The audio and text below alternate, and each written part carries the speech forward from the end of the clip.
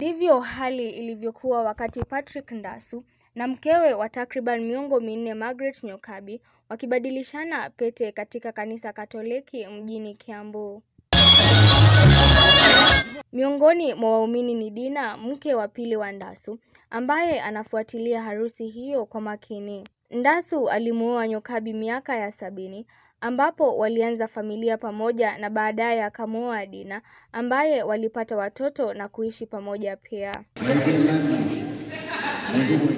Na kwa kuwa kanisa Katoliki haliruhusu ndoa ya wake zaidi ya mmoja, wake hao wawili walilazimika kukubaliana ni nani angefanya harusi na mume wao. Hata hivyo, bahati ikimwangukia Nyokabi mke wa kwanza. Kulingana na Dina, walikubaliana kugawana urithi wa Ndasu nusu bin nusu. First wife was still there.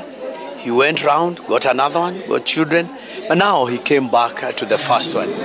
And now they have all agreed that he picks one and he picked one. Kuja tukaitana tukakaa, akanigawia zangu, akanigawia mali, akanigawia yangu na akagawia ule mwingine yake. Ndasu akisisitiza kuwa hata ingawa amefunga pingu za maisha na mke wake wa kwanza, anawatambua na kuwapenda wake wote.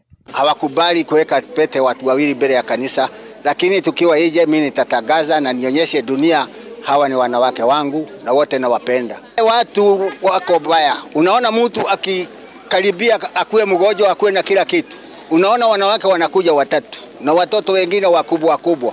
Mimi sikutaka kufisha hiyo, ndio niliweza, niko na wanawake wangapi? Wawili.